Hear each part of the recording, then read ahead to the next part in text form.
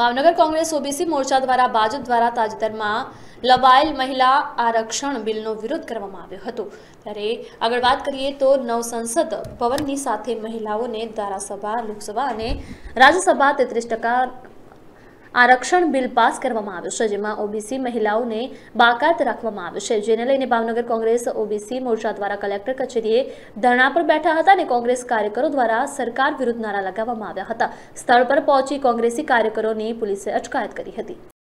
મારું નામ કાંતિભાઈ ગોહિલ, શહેર ઓબીસી ડિપાર્ટમેન્ટના પ્રમુખ, ઓલ ઇન્ડિયા કમિટીના ચેરમેન, ઓલ ઇન્ડિયા કમિટી ડિપાર્ટમેન્ટના અધ્યક્ષ એવા અજયસિંહ યાદવ તેમજ પ્રદેશ કોંગ્રેસ ઓબીસી ડિપાર્ટમેન્ટના ચેરમેન ઘનશ્યામભાઈ ગઢવીની સૂચનાના આદેશના અનુસાર આજે ઓબીસી મહિલાને જે લોકસભા, વિધાનસભા અને રાજ્યસભામાં બિલમાંથી જે બાકાત કરવામાં આવી છે ત્યારે આજે શહેર અને જિલ્લા કોંગ્રેસ તેમજ જિલ્લાના પ્રમુખ એવા જીતુભાઈ વાઘેલા તેમજ શેર પ્રમુખ પ્રકાશભાઈ વાઘાણી તેમજ શેર અને જિલ્લાના તમામ આગેવાનો આજે ભાવનગરના